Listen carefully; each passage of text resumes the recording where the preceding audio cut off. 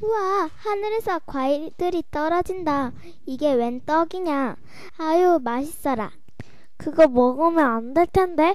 신이 변한 건데.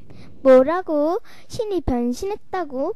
어떻게 해? 신을 먹어버렸어. 나 혼날 것 같아. 에잇, 지금이라도 교회 가서 잘못을 빌어야겠다. 에휴, 과일 먹고 똥으로 나올 텐데. 교회 가봤자지.